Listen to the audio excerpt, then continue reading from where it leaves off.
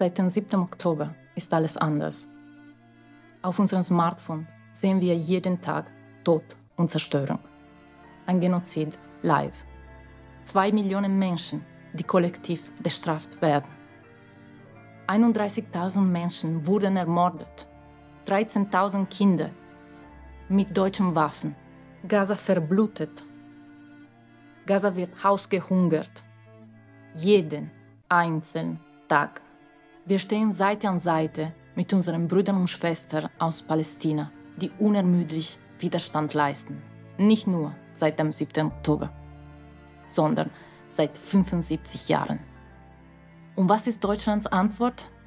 Sie kriminalisieren Juden, Muslime. Sie nennen uns Antisemiten und Terroristen. Deutschland zeigt mit aller Gewalt, dass wir kein Mitspracherecht haben. Hey Deutschland, was ist eigentlich aus Nie wieder geworden? Für uns bei Mer 25 bedeutet nie wieder, nie wieder für alle. Deswegen fordern wir einen sofortigen Waffenstillstand und ein Ende der Waffenlieferungen an Israel. Wir stehen für Frieden und Menschenrecht. Wo stehst du? Am 9. Juni bei der Europawahl Mera 25 wählen.